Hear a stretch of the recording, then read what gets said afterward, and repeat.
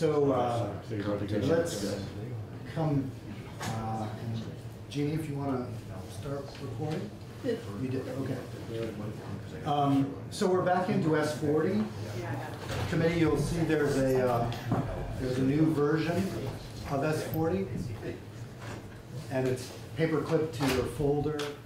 I don't think we'll, um, we'll look at that new language um, just yet because we've got, uh, tomorrow, we've got Michael O'Grady scheduled and he'll walk us through what he did, but I'm, I'm sure it's pretty easily understandable, but we'll, we'll wait for him to explain it. So why don't we start with Jeff Fannin?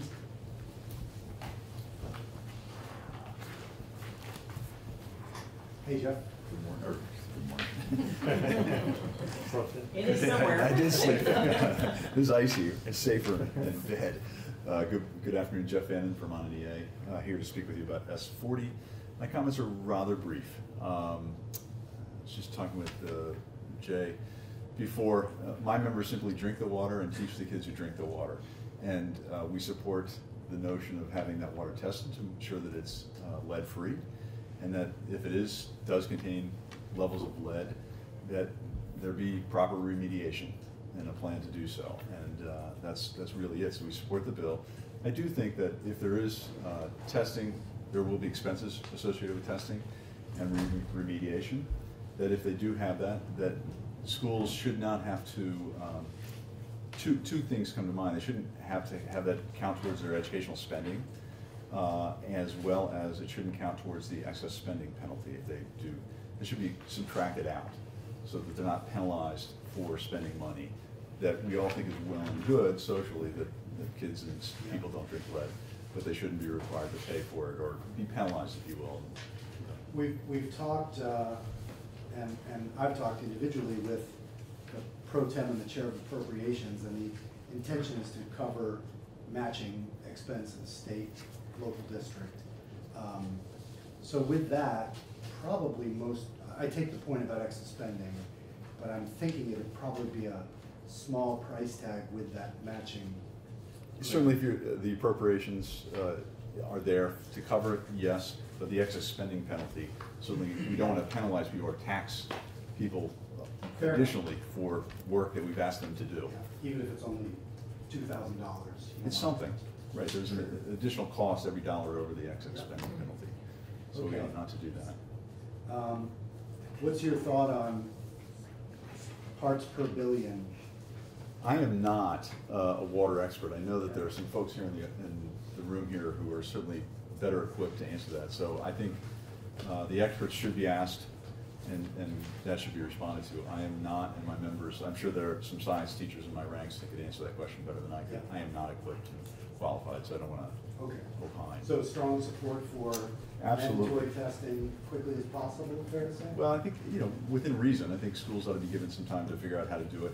I'm not sure, somebody asked me about testing, I was talking about the natural pass, and asked about testing capacity in the state. I don't know the answer to that, and, and so somebody else again might have that answer, but certainly schools shouldn't be penalized if they can't find a, a testing facility to do the testing in a re- in a requisite am- amount of time. I think the commissioner yesterday was pretty clear that testing ability is there and they're confident they can get it. That's great, then I think that they should be asked to test in a reasonable time and, and, uh, and move ahead with a remediation plan if necessary in a- in a reasonable time too. Yeah. Uh, So those are my brief, rather short comments, happy to take any questions, but Questions for Jeff?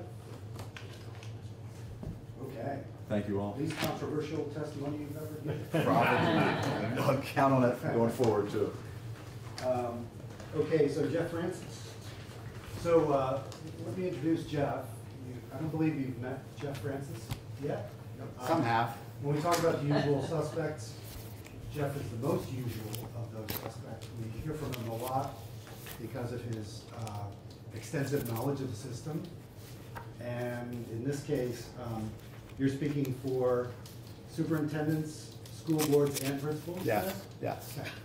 Um, And I'll explain all of that. Uh, Before we get into the testimony on S forty, I brought you each your own copy of the Vermont Education Directory, Oh, boy. which is useful information about the school systems in Vermont and their organization. Um, It's compliments of the Principals and Superintendent's Association. If I could, let me tell you how you use this. So you get an invitation to go to one of your districts. Take this, put this um, in your glove compartment, and then right before you go in, you read all the statistics and uh, everything about it, and you walk in, you just seem like you have encyclopedic knowledge. That's just how I use it Yeah. also. I also have printed copies of the testimony that I'm gonna deliver. Um, And before I start formally, let me just say, it's a pleasure to be here. I'm gonna, I'll talk about um, the bill in a fair amount of detail, um, including the funding aspect, which I'm sure you'll have questions for me about, because we're, we're taking a position somewhat different than that was, that was articulated by the school, uh, by the Vermont NEA. So um, I'll read this because I think it's the quickest way to do it, and then try to be prompt and answer any questions. So, as Senator Baruth indicated, it's testimony offered on behalf of the Superintendent's Association, the School Boards Association, and the Principals Association. Those three associations have a fair amount of experience working on environmental health issues in schools. We have experience with, working with the Department of Health, AOE, and the Department of Environmental Conservation on the pilot that was run on lead. Um, we also, uh, were involved at some level on PFAS testing and pilot. Um, and I'll touch back on those themes as I go through the testimony. Um, we decided that it was most efficient to deliver the testimony, um, as a collaborative. We're operating from a core set of principles that are reflective of our collective thinking, particularly with respect to this issue of testing water in schools for lead. I always stress, um, and this is by design, point number one, that we are committed to supporting safe and healthy learning environments and education settings when they're funded in whole or in part by taxpayer dollars. This includes Vermont public schools as well as private and independent institutions. So the inclusion of independent schools and um, childcare settings is an important part of the bill that we support. We also think that um, both the state and the local school districts are right to recognize the commitment and public investment in achieving safe learning environments. We um, want to stress the absolute necessity of close and careful coordination between and among state agencies. In this case, it's the Health Department, the Department of Environmental Conservation, and the Agency of Education. I think that to the extent that we have observed glitches in past environmental health program, it's because the department and agencies didn't always work as closely as they might have. Um, and we have a particular interest in an understanding on their parts of how schools function, and I'm gonna come back to that. Um, we think that the state agencies um, have to pay particularly close attention to how schools function. That's the point I just made. Um, we also believe that in this case, um, and I know that you're going to have questions about this, we think that the remediation and testing should be paid for by the state. And I'm gonna talk a little bit later about the ed fund and fiscal implications for individual school districts. Um, the pace of the, yes. Sorry, when you say remediation and testing, you mean hundred percent of both? I'll, uh, I, we, we're asking for hundred percent. I'll explain why, and you can judge for yourselves whether you think there's logic to the, to the request. We think that the most efficient and expedient method for getting the work done is to streamline the process by simplifying the funding and payment models. I'll elaborate on that. Um, you asked Jeff Fannin uh, what he felt or what Vermont NEA thought about um, parts per million of contaminants. Um, we've looked at that, um, and it's not fair to say that we've studied the research, but we've looked at the research. We know that um, pediatricians, for example, look at actionable levels at anything one or above. We know that the EPA um, cites 15 per- parts per million, billion. Um, our organizations are interested in that issue. We're less interested in it if the state funds the entire program. I think that you need to err on the side of safety, but we know that the, um, the research and the science is not always consistent. There's no reference in S40 to a comparative risk analysis, so when you look at the age of the buildings and so on and so forth, I think some folks would argue that the parts per billion standard could be reflective of a comparative risk. That's science that we're content to leave to the health department and DEC. I think that it's an important consideration when you take a look at what the ultimate cost of the program may be. I'm not gonna, I, we are not gonna weigh in on that, we have an interest in that. I think we'll have more of an interest if you say that you want cost sharing from schools, because we're gonna then be put in a position of having to evaluate the costs. I, I believe that's the likeliest outcome. Hundred percent state coverage for testing. Right. Fifty percent, uh, matching for remediation. Sure, so I'll, I'll respond to that specifically. Um, so with regard to S forty specifically, we've got our points enumerated here. We support the purpose of the bill as written. We support the inclusion of child care facilities. We reserve comment on the proposed action level of, um, levels of contamination that require action. Um, uh, we believe that the um, testing, as you indicated, should be paid for entirely by the state, including um, follow-up testing. Um, there's a provision in the bill that requires schools to keep records with regard to um, the results of the test and mitigation. We think that a far more appropriate and efficient manner would be for the state to establish a central database. These records are too important to be retained, certainly at the school level. At a minimum, they ought to be at the district or supervisory union level. But we think if this is an important public health initiative of the state, then there ought to be a repository for the information and have it maintained at the state. One of the rationales for our um, proposal there is that while schools are adept at keeping records, there's a lot of turnover. If this is a health initiative with environmental conservation interests, then there ought to just be a repository where the results of the test and the remediation action get put to a central database and that it gets managed from a central database. The new Secretary of Education, Dan French, is a technologist by nature. He's talking a lot about data and utilization of data, retention of data. We ought to start right now with this type of a program and put it all in a single um, repository. Um, there's a drafting um, matter in the bill that I want to point out to you. I'm not exactly sure what the remedy is, but Jim DesMarais could help if you um, accept the logic of my thinking here. So if you take a look at the definition section of the bill, it refers to schools and incorporates both public school buildings and independent school buildings. There's intentionality there. Um, but if you talk with um, school officials, their common vernacular does not regard a school as a um, entity for purposes of deliberating action, following through on action, and taking action. So it's if you took a look at the Montpelier School District, for example, they have Main Street Middle School, Union Elementary School, and Montpelier High School. The notion that the school itself would take action is not consistent with how the public schools operate in the state. The locus of control is the school district, mm-hmm. and the reference in the bill should be the school districts taking action. Remediation plan, notification, testing, it ought to be school district in the schools within that school district, not the school themselves. Yeah.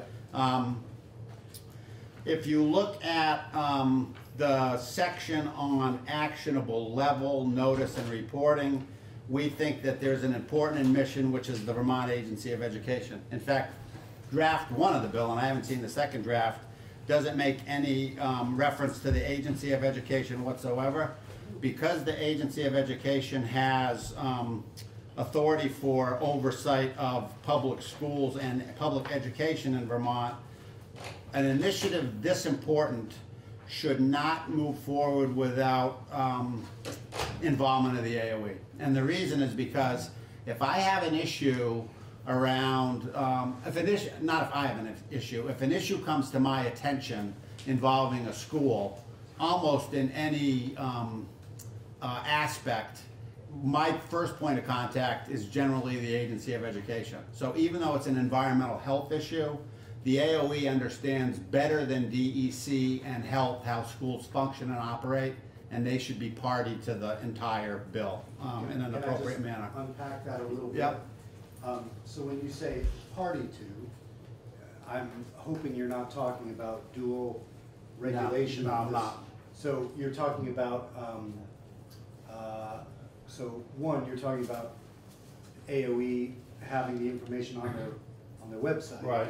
But, uh, can you say a little bit? Yeah, so one of the final recommendations we make goes to the rulemaking process itself.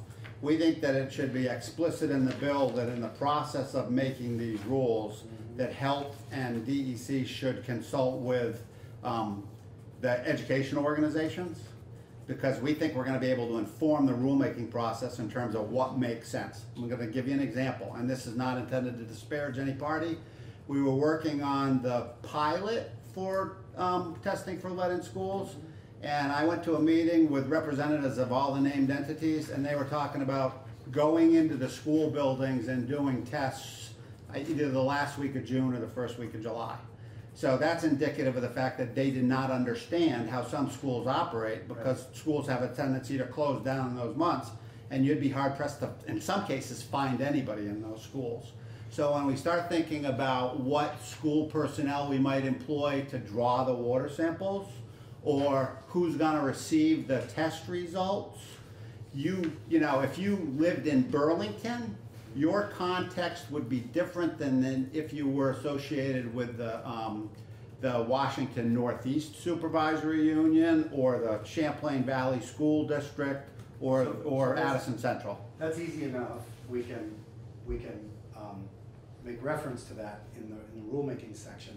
You're not talking about anything beyond that, um, you know, in terms of oversight or authority or, I think that if the, if the oversight and authority gets treated the way we believe it should for a, for a program which is, has the high priority like this one does, I think we'll be okay. Um, where you run into trouble is if somebody in a local school district has a question that they need an immediate response to, and they're not clear whether to call the health department, the Department of Environmental Conservation. I don't think they should call the Agency of Education, but if they don't get a good response or any response from those two, other two entities, then it ought to be somebody at the AOE that they call and say, I'm trying to get an answer to this question and I can't. Um, because you can put somebody out into the, um, the uh, organization that is state government that doesn't have any familiarity with that particular entity or organization, and they're gonna wanna go to a more familiar place, and that more familiar place, if it, if it's not them calling me, they would be calling the AOE. Um, so I, you know, I would say that these are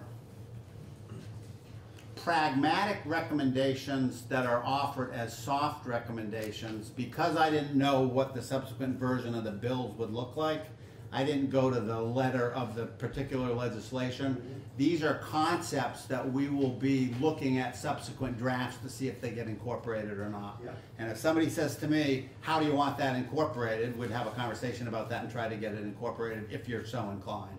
well, what I, what I will do, I'm, I'm making notes here.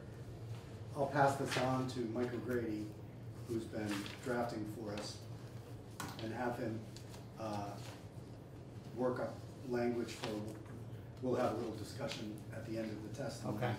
And see, uh, Okay. and, and so we will do our best to maybe not speak to every one of these. Sure. the- Okay. The majority. I'm now on point number eight on the second page. So um, that, that simply suggests that if there's gonna be a website at the Agency of Natural Resources that um, is uh, informative with regard to the testing results for schools, then we simply think there ought to be a link to the AOE, because we think in some instances, parents and families would first go to the AOE in terms of trying to find out about the circumstances or conditions for a particular school. S- Uh, schools do a lot of work with families to ensure that they go to the website to get information, and so this is another category of information that we think ought to exist at that website. Um, under number nine, we talk about the lead remediation response. We don't, we can't emphasize, um, enough that, um, that the initiative ought to be properly resourced, both with regard to funding and personnel. So we just wanna make sure, and I, and I say this with, um, uh, a fair, a fair amount of understanding and appreciation for the work of both A and the Department of Health. We wanna make sure that the folks there know what they're dealing with, as it were. Um, I, I'm confident that they will be, but we feel it's an important point to reiterate. Um, number ten talks to the reference in the, um, in the bill to the model plan. Um, and this may be, uh, simply a matter of interpretation of language. One definition of plan would be you receive your test results and then create a plan to respond to the uh, results of that test. Um, and that's a valid way to describe it. I think that for um, an initiative which, which is going to result in various forms of remediation, like plumbing fixtures or piping or water source, rather than talk about a plan, it might, rather than have a model plan, it might have, might be explicit steps to resolve a particular finding.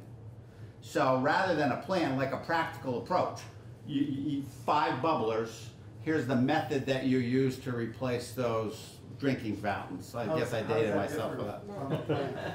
Um, I, it may not be, that's why I qualified the statement, but that says this may be a matter of interpretation. Well, the way, the way I think about it is, I'm a parent, I find out that my kid's school has lead in it, I wanna know what's gonna be done, they hand me this document. Here's what we're gonna do. Yeah. We're gonna replace, in the north building, we're gonna replace these three, in the south building, we're gonna replace these two. Right. And it's gonna cost the district this much because the state is supplying this much, so now I have a, a picture of the work that's gonna be Yeah. done. I, I agree with you entirely. So Okay. may, maybe the use of the word model that threw me off. Um, Okay, I, I was thinking of that, and this is to Ruth's point yesterday, I was thinking of that as, you know, uh, uh, something where you could plug in A template. a template, yes. Yeah, I mean, that would be good. What I'd wanna say also is that we know that the average cost per fixture is this.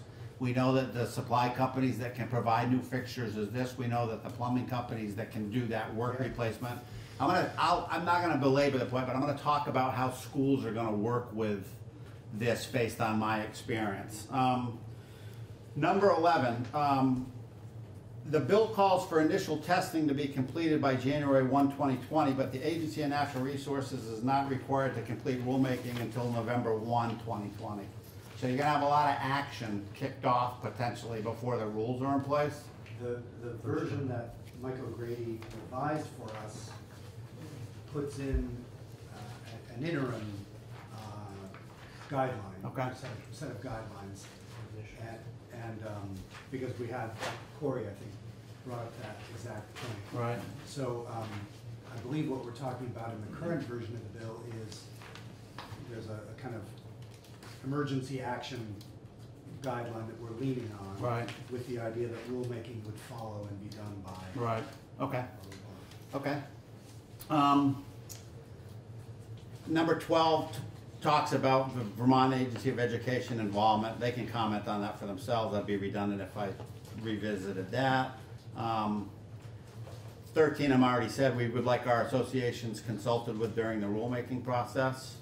Um, fourteen speaks about, uh, the absence of an appropriation. I believe the second version of the bill has an appropriation, and I know the governor announced one point three in his budget address. I don't know how his approach and your approach are gonna reconcile, but it's good that there are budgetary references. I included fifteen, um, both, uh, as instructive to the committee and because I think it's a valid point. So in two thousand and three, the General Assembly, um, passed the law three VSA eight thirty-two B, which basically was intended to point toward the fact that schools are being asked to do more and more. So there's a provision on the books titled Administrative Rules Affecting School Districts, which says that any agency um, promulgating rules affecting school districts needs to do a cost-benefit analysis, both of direct and indirect costs. Um, I think that the uh, agencies that are doing the rulemaking should be alerted to that requirement, particularly because while the state may test, um, may, may pay for testing and remediation at some level, there's gonna be a lot of implications for school districts in terms of the work that they have to do at the school district level itself. I in no way, shape, or manner bring that up because I think that you shouldn't be doing this. On the contrary, I think you should be doing it. I just think that sometimes in the dynamic that involves schools and all forms of initiative in the state, the cumulative cost implications are often lost on people. So you will hear me when I sit in this committee on almost any topic that involves fiscal impacts on schools, talk about the fiscal impacts on schools. So now I'll go to the funding. Um, I, my preference and the preference of our associations would be to have the state fund this as hundred percent, both mitigation and testing. Here's why.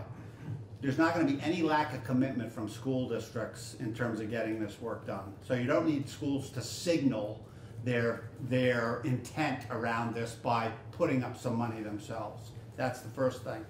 The second thing is the investment that will need to be made if you expedite this is gonna be off budget cycle. So school districts are developing budgets for the next fiscal year right now. If tests start to materialize at the first of the year and school districts are asked to remediate on a timely basis, you do not want them waiting till July one in the next fiscal year. You want them to go to work to take care of it right away. They won't have budgeted for that. That's the second thing. The third thing is the administration of a fifty percent match, both for the state and the school district, may not do justice to the amount of money that you're gonna need in total investment. I think you would be better off to say, we're gonna test, we're going to have a schedule of remediation costs that we'll fund, not do grant programs, not do applications, simply say, your plan says you're gonna replace five fountains. We know through our research that that's gonna cost X. If you give us invoices that some know more than that, we're gonna pay it. Um, a- another, uh, so, so I'd like to have you think just about the administration of a matching program as opposed to an expedited program which has the state pay, which is, the state is, you know, well versed in that. I'm, I'm confused how it's less administration if we pay all or half. It seems like the same amount of administrative work, it's just the cost share is different. Uh, I don't think that's true. Because of the calculations that have to take place. I mean, there's, it's, there are interactions. It's hard to do it. Well, but let me, let me also, let me make another point, and I'll ponder that feedback. Um, If you take a look at the pattern of school budget approvals in this state, I can predict with a fair level of certainty some districts that will defeat their budget on the first time through. Mm-hmm. If you take a look about perceptions of community wealth and how education gets funded, I think that it's within the realm of possibility that you may find school systems that historically are considered to be more financially stressed and strapped than others. So the notion that you would go to any school district and say, and, and I'm gonna pause here and ask that you consider my mi- line of reasoning cumulatively rather than piece by piece. Mm-hmm. If you go to any school district and say, you know, you need to replace these fixtures, the perceptions in those communities is gonna be different from place to place. There are places that will take care of it immediately. Montpelier looked at the fact that this program was coming, and Montpelier, where I reside, has a history of basically supporting any level of expenditure for its schools. They initiated a program on their own. There are other places that I will tell you have their hand to their head right now, and they're saying, boy, when they come in and test our schools, if they find five fixtures, that's gonna be a measurable burden and impact on our school. And when you consider the rurality of some of the schools and the declining enrollment and the, and the corresponding increase in ed spending as in, in, as enrollments dec- decline, if, if this is a public health initiative by the state that you wanna take care of on an expedient basis, you're, you, you would be far better to grease the skids. And let's say that the, let's say that the total cost of remediation, I have no idea what they're gonna be. But let's say it's, it's, uh, five million dollars. You'd be better off saying the five million is available, we're gonna get the job done, than we're gonna have to split it. And let me, Let me here's, take it, let me Yep. take Senator Hardy's question. I only have one more point and then I'll, but I'll take it, yep, Senator Hardy's yep. question. Yeah. So Jeff, I, I appreciate your point about health equity, which is a, an issue that the Commissioner of Health brought up yesterday. Um, that in some of our communities, there may be more, um, uh, ability and more, um, enthusiasm Yeah. for doing the work. I completely appreciate that. I think that in a lot of cases, the remediation is not going to be as expensive as you are presenting it. Uh, replacing a few faucets is not going to be an enormous cost for most school districts. And, um, the paperwork and bureaucracy for some kind of even fifty percent match may be more uh, burdensome to the school district than just paying for a fifty dollar new faucet. Um, so I, I, I'm, I, don't wanna, and, and I said this about the model plan too, I don't wanna create bureaucracy that's unnecessary. And, um, I think that if, if we have to dig into the pipes and replace a whole bunch of plumbing, then obviously that's gonna be more expensive and that might be something that we would wanna look into, but, uh, with, to your point of, of making sure it gets done and not overburdening school districts. Um, but if it's really just replacing a few faucets, it seems to me that creating a bureaucratic structure for that is excessive and, um, maybe we could create some kind of, uh, match for costs exceeding a certain amount. Um, that, Sure, that would be more appropriate than, okay, we're gonna give you twenty-five dollars because you just spent fifty dollars on a faucet. Well, just, just to clarify, so I take Jeff's point about they would like a, a statement of the, the state's willingness to pay what it's gonna pay before the bill leaves this committee. But the plan has always been that the appropriations committee will create exactly what we're talking about.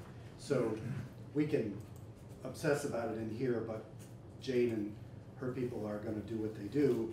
They may decide, as uh, Ruth is suggesting, that there's a, an amount that triggers these grants. They might decide, after looking at it, that you're right, they should pay hundred percent. I tend to think what they're, what they're gonna do is land on 50-50, and districts will have to apply for that, in which case it may be that if it's four hundred dollars, they might have a fund that would cover that, and they move on without applying for that two hundred dollars. But, um, but I hear your testimony, and I'm, I'm not kicking the can down the road completely, because the statement we make in this bill will have to take a, a stand in one way or the other, but that can be countermanded very easily down the hall. And I, you know, it's, um, I've made my points, I understand your perspective. Uh, I, I, I don't think it's a showstopper one way or the other. Um, I was on the committee that made decisions about the five million dollars in school safety grants that went out. It was an extraordinarily heavy bureaucratic process. So, you know. There you were, you were, it was a competitive process. Well, it was competitive, the governor had in his, in his bill, in his, in his, um, address today, another one point five million, I think, for that.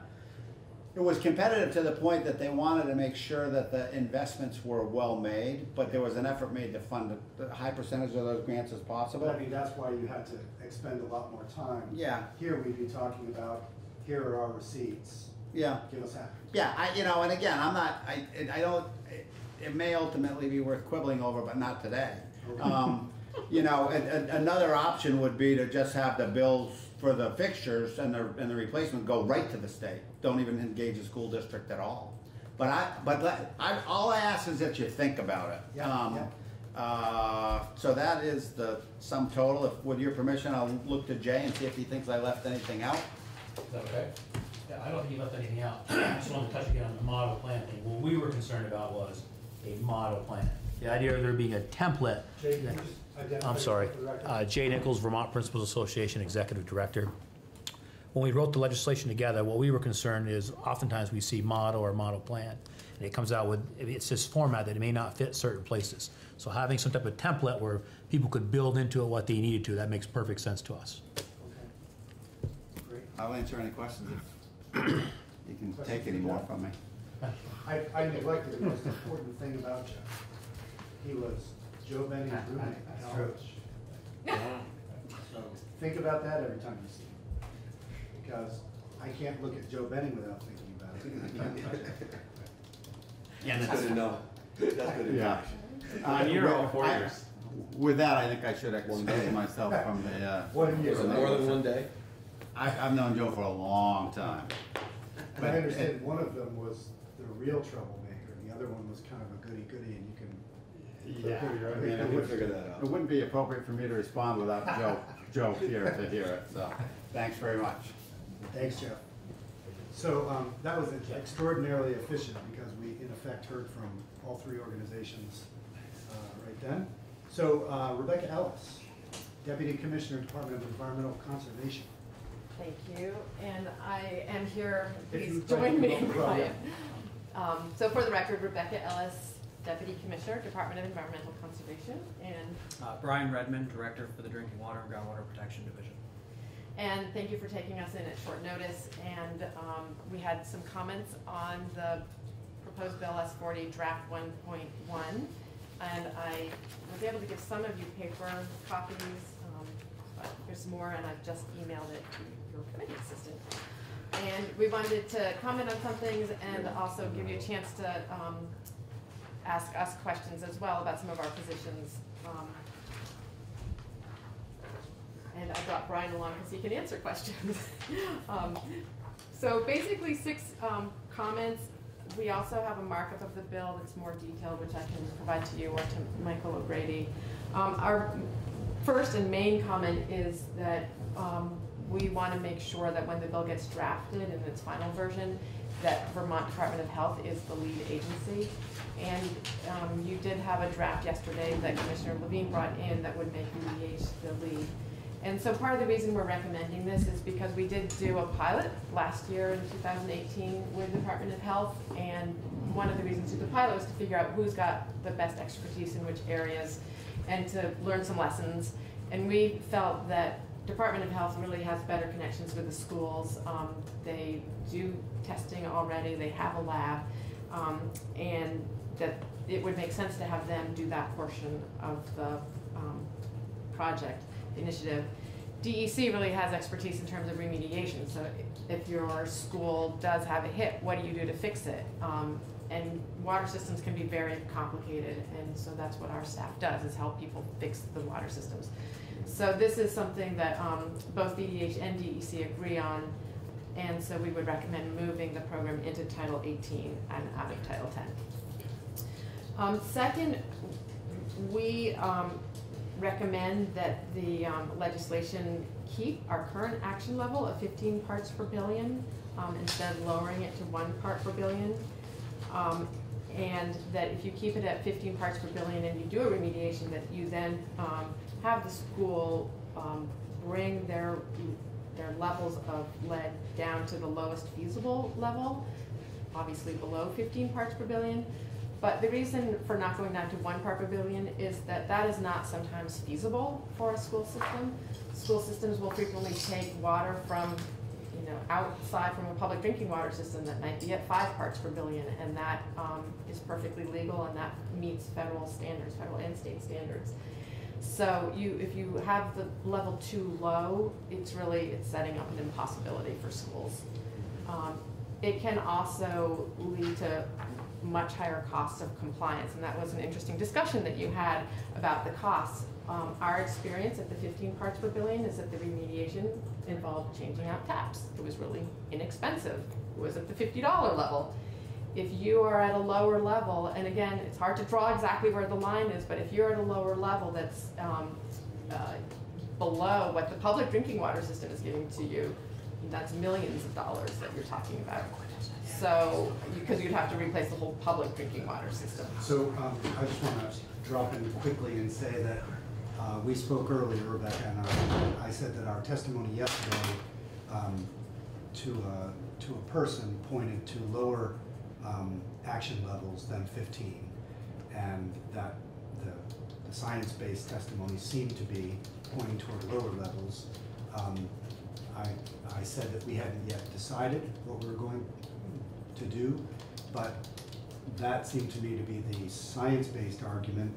Here, you're talking about lowest feasible level, so we're, we're in a different area of considerations in some ways, feasibility, feasibility costs, um, et cetera.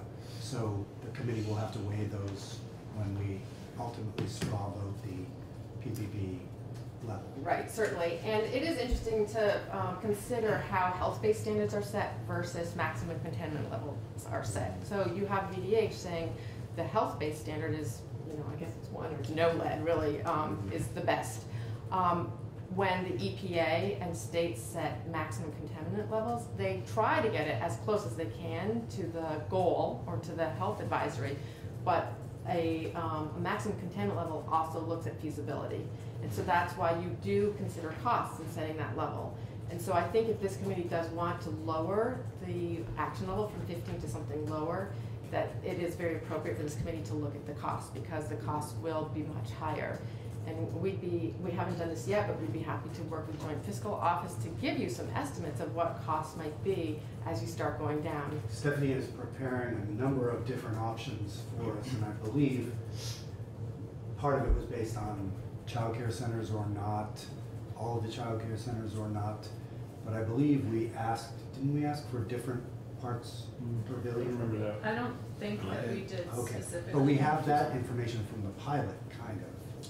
We have the numbers. We, yeah, we have the numbers from the pilot that we Yeah. asked her to look at and sort of, uh, and also from the testimony that we heard yesterday based on what, um, Professor Costanza Robinson found in the schools that she tested in Right. terms of per- Yes. percentages, and that's, so I think that Stephanie was gonna make a estimate based on those two, Right. that's my recollection. And absolutely, any information that you can feed to Stephanie about um, estimates and costs would be very helpful to us. Um, I, I just, you know, the, the fifteen parts per billion is a, an old, um, uh, recommendation from the EPA. Drinking water standards for bottled water are five parts per billion.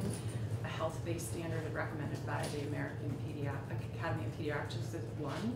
If we're going through the entire process of testing every tap in every school in our state in order to make sure that our kids are healthy, I find it really disappointing that you guys would recommend a standard that's not a health-based standard. And obviously, there are feasibility and cost issues at hand, but to start at a level that is not actually based on the health standard is, is, is, I think, incredibly problematic. Yeah, and we're certainly talking about the health of our children and our youngest children, so health is the first and foremost concern.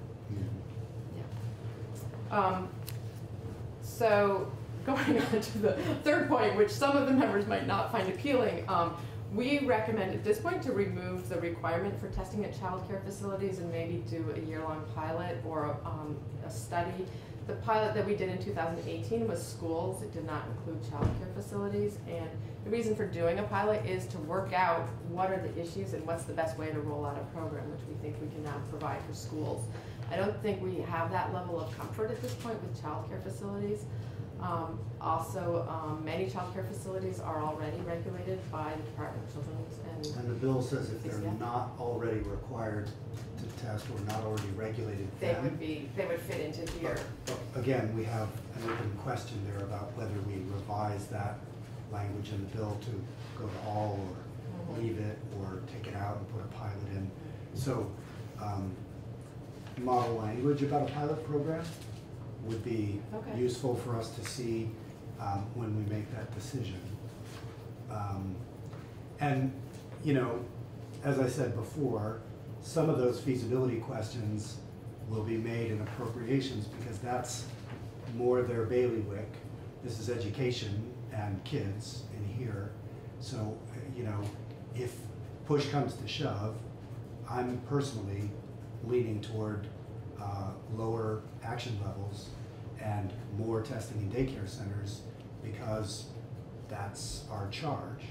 Um, But we will, we'll do our own analysis, but just to say, we, we start with a different focus in here.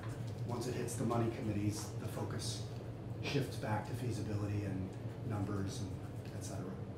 So, Um, we'd be happy to provide some modeling Yeah. about a pilot.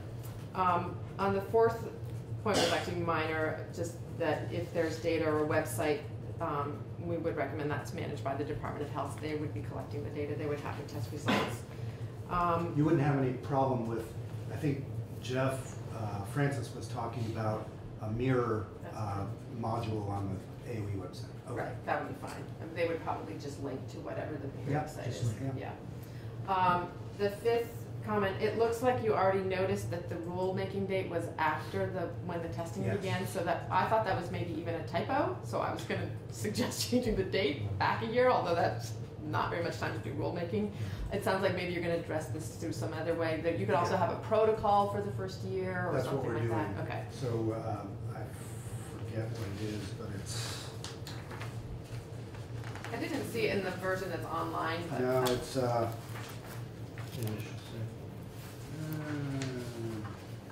testing, oh, sampling shall be conducted according to the methodology provided for under the U.S. Environmental Protection Agency's three Ts for reducing lead in drinking water in school. Um, So that's what we're proceeding under before the rulemaking, I believe. Okay, and I think um, our comment on that would be, or uh, something like state standards. if that was Some state-specific requirements, there are a few things, uh, features to the pilot that we included that were, are not part of three Ts, um, that we would recommend implementing. I haven't read through the new, newest version of the bill, but, uh, as you heard from, uh, Dr. uh, Costanza Robinson yesterday, the flush sample at the initial That, that is three Ts. Uh, not at the initial collection. Uh, three Oh. Ts looks at it, um, as, as a feature to, um, diagnosing a remediation. We'd rather have that information up front, um, as part of the initial sampling collection, because you're diagnosing the fixture and then further down into the pipe. So Yeah. that's a good indication if you need to go back behind the wall and you're Yeah. getting into more expensive remediation. Okay, so I'm, I'm a little confused about what you would like to see. Um, So, to the extent you could give us um, pieces of language that speak to what you're talking about, um, because Mike O'Grady is not an expert in this area either, so, Yeah, and actually, we do have a markup with a recommendation already, because Okay. apparently that was in the version one point one and I forgot, so. yeah. Because we um, were, we were yeah. trying to um, speak to uh, the, um, the experts' requirements on testing methodology. And I believe that those were, I believed, uh, past tense, that they were all captured in three Ts, but it sounds as though that's not the case. Okay. Yeah, I made some notes of things that were recommended yesterday that Okay. didn't get in here too, in terms of notification also, and Yeah. um, the um, requirement that testing occurred during, I can't remember the phrase that she used, but during, So- basically during the school year, so, Yeah. yeah. it's We've got over the summer. O'Grady Yeah. tomorrow. Yeah, at the beginning of our session, so we'll download all of these suggestions to him. We'll also have updated fiscal note from Stephanie, and then hopefully, starting next week on Tuesday, we'll have every, most everything that we want in the bill, in the bill, and then we'll be kind of vetting with people who wanna take another look at it, so you can always come back and get another ten or fifteen minutes. So on the, on the technical but very important changes, um, on your definition of first draw sample, it says to take the sample, um, on water that's been standing in plumbing pipe at least six hours, it should actually be between eight and eighteen hours, so it's actually, as I understand it, The important. new revision Uh, is eight. It should have eight to eighteen, there needs to be a stopgap on the back end for a Okay. valid, um, sample.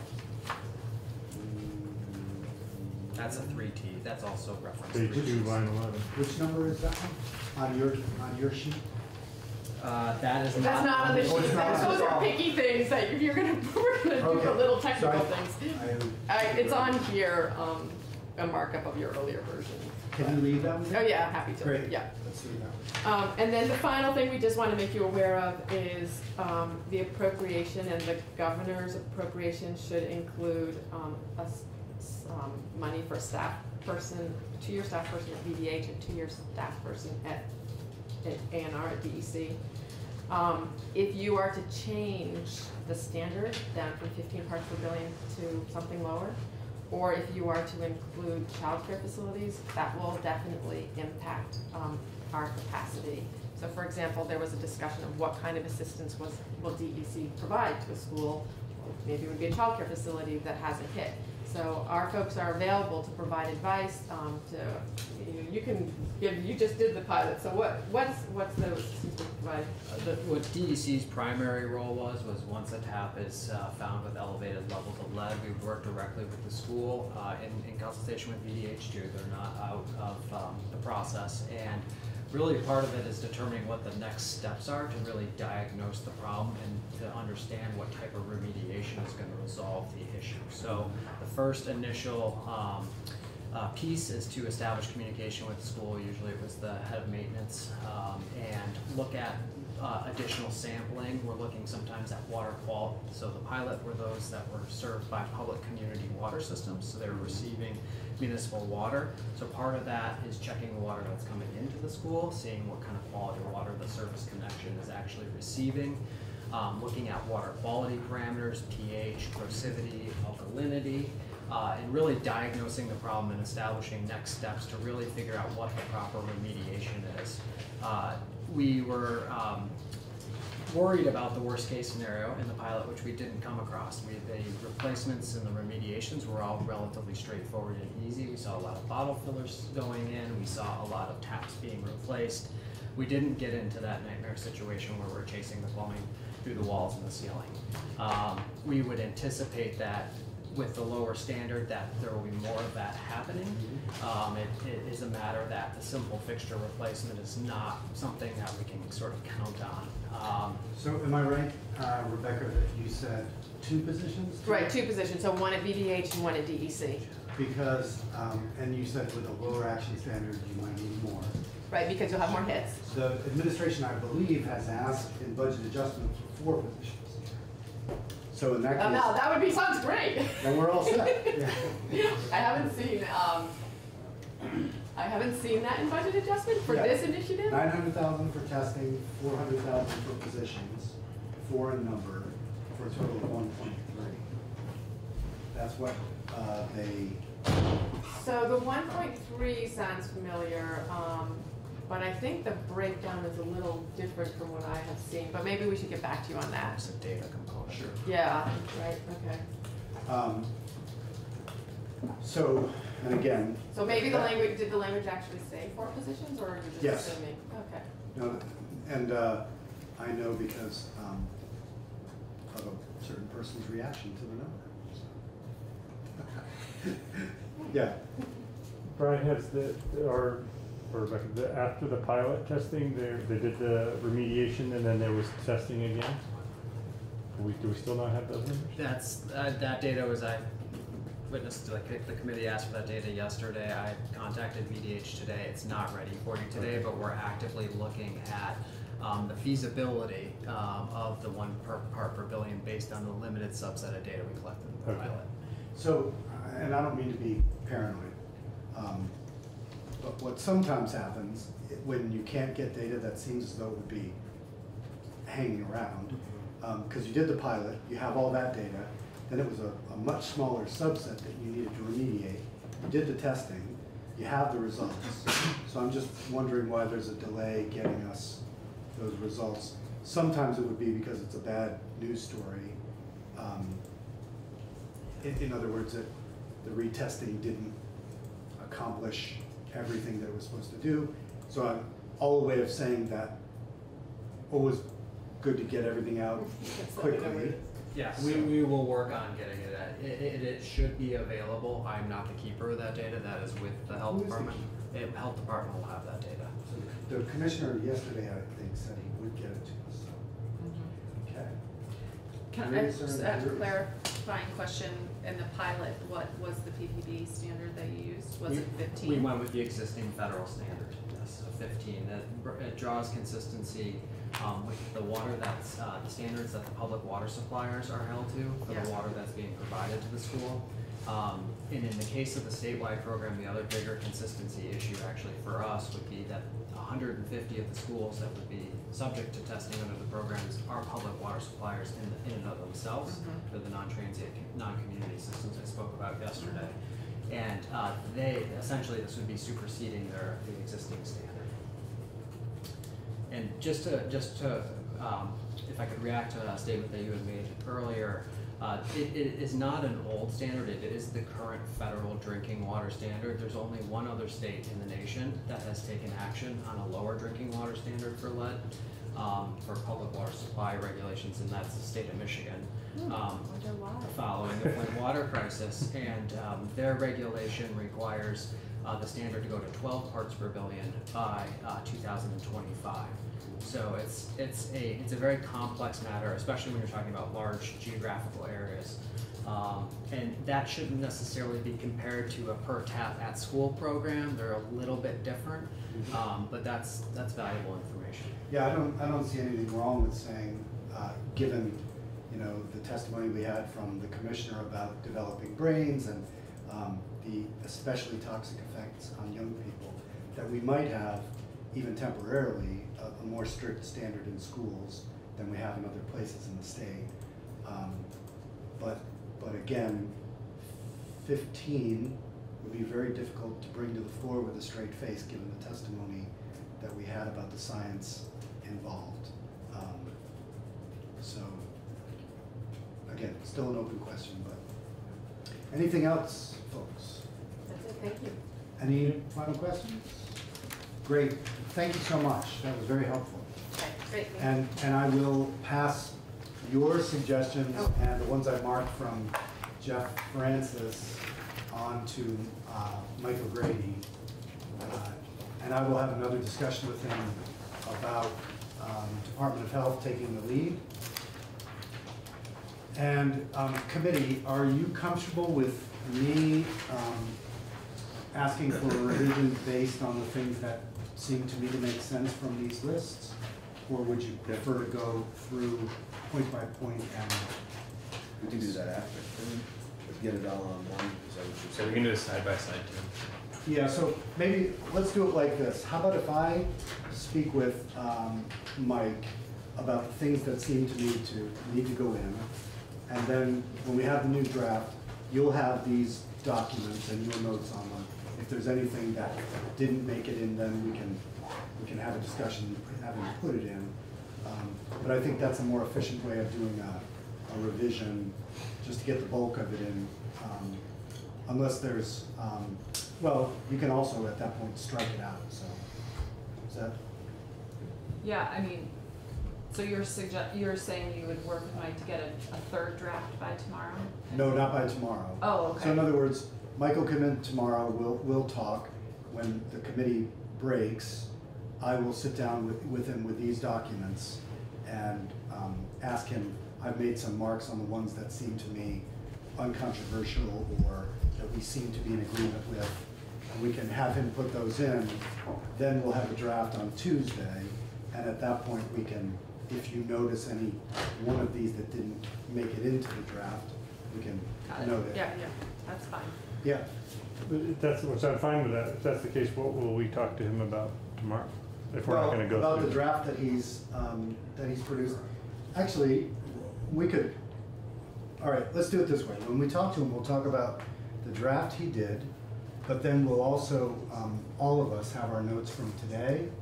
I'll, I'll sort of lead the discussion about things that I think should go in, but we'll all chime in and have not as formal as a straw vote on each one, but just sense of the committee as we go along. And then we'll, we'll drop them to him one by one, he'll make notes. And then we'll send him out with those, um, notes for revision. Does that sound good? So in other words, instead of me doing it with him alone, we'll just do it together. As a committee, yeah, sure. Either way. It means we'll, we'll take a little more time tomorrow, but Yeah, and we don't have a tomorrow, lot on the, on the agenda, so. are we starting at one tomorrow? Is the? We're starting on one because it's Friday, so the idea is to get everybody out just a little earlier. the- Oh. How long is So- implicit bias training gonna go? So uh, implicit bias training is gonna go Eleven two thirty. hours. So That's that would to be one, one one thirty. thirty. So we have implicit bias training at eleven thirty, and I don't know what our morning committees are doing. And We'll want people want lunch. to have lunch. Bring He said that snacks. we, he said we were So gonna eat did during these the people training. respond? Yeah, Yes. that's what, So how are we all gonna fit into this room and eat at the same time? the- and And we're, Ethan out? Is that what- yeah, Ethan Yeah. Allen, Ethan it's not, Allen it's gonna be room's like- tight. Yeah, yeah, thirty You're people not in all there, gonna be able to eat. You'll be like, Standing up, yeah. So eat at eleven. No, that's fine. Um, so I had asked Jeannie to fill out tomorrow, um, not thinking that we would be doing this Yeah. with, um, Michael. I do have a starting at one, but you're right, it'll be at least one thirty. But you So- can take Michael out and just you meet with him, your original proposal. yeah. We don't need to meet with him if you're gonna meet with him. And again, I mean, it's, Okay, if you don't mind me doing that, we can take Michael off the, um, agenda and start with Stephanie at one thirty. What- are we making any fiscal changes that she's gonna have to come back to us with another note of what we're doing for Michael? So I guess my point is, No, I don't think so. So she's gonna present us with the options she has so far. That'll inform our thinking. We won't have to decide tomorrow, but we can give her any additional revisions or questions. So she's, her fiscal note's a work in progress that we're collaborating on, as is the draft with Mike. So we'll have both of them back in on Tuesday with revisions after tomorrow. But I can, I can talk with Mike offline and, um, we'll talk together with Stephanie tomorrow, um, and get a sense of what her numbers are looking like.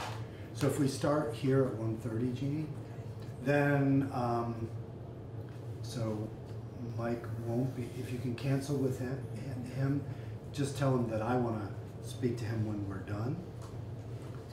Yeah, so whenever, you know, let's say three thirty, um, tell him, uh, see if we can set up an appointment, him and me here at three thirty. And then I, I've asked Jeannie to, um, starting at two, to, um, go back to pre-K and have testimony from some providers. Some are, are your district, Ruth. Yeah. Um, some are my district. Um, but this is the beginning of a sort of smattering of public and private providers and what they think of S ten. So that'll take us from about two to three thirty. Well, we're not having Michael, so I think these guys can probably be a half an hour. We might run ten minutes over, um, yeah, so we'd be out by three thirty and then I'll sit with, um, Michael Grady for another half an hour. Uh, Comments, questions? So, so we will, um, I'll start scheduling next week, committee time on this bill for us to flesh out our thoughts and begin making these decisions. Clearly, the administration is interested in not moving from a fifteen parts per billion standard. Um, they're very serious about wanting, uh, the Department of Health to take the lead and some other, some other things, so that doesn't, that's not determinative for us, but we're gonna have to have a, a good solid discussion about if we don't go with their recommendation, why we're not. So the parts per billion, we've been having that discussion as we go. We haven't talked much about who would take the lead. Um, Mike O'Grady has an argument about why he drafted it as he did. We'll hear that again. But I, I think there's a lot of value in having the administration on one page about their uh, line of authority. So that's, I, I regard that as a kind of authoritative argument that Mike's argument would, would have to be strong enough to overturn. So we'll, we'll hear from him uh, Tuesday. And then there's the question of the childcare centers too, that Absolutely. seems to be a differing Yeah. question. And there's some other ones that will, that we'll have to wind up straw voting, but, um, the other thing, just, just to let you know how I operate, I think some committee chairs are very, um, look askance if people try to make a case to individual members on the committee. And so you see people having quiet huddles and private huddles in the hall. I, I tell advocates that if they wanna make a case to you to change your mind, feel free. So, you know, there's never any prohibition on you listening to as much or as little of people's arguments as you want, even if it means you're gonna change your mind from where I think it is. I, I always appreciate a heads up if your position that you've voiced before has changed. But, um, you know, so I, I said to Rebecca, her people wanna speak to you about the parts per billion question privately and have a back and forth, then by all means. Um, and then when we straw vote, again, it's, um, we, we go with four votes. So on, on some of these, we'll have to have a way to break the tie because we have to have a parts per billion standard. So if we go three to three, we have to figure that out, maybe rounds of voting, successive rounds of voting until somebody changes. How about three and a half? Right. Um, But in order to get something out of the committee, we have to go with a vote of four. So if we deadlock on, on a bill, for instance, and it's three-three, the bill doesn't advance out of committee, no matter what I or anybody else may want, so. Okay, thanks, guys. See you tomorrow.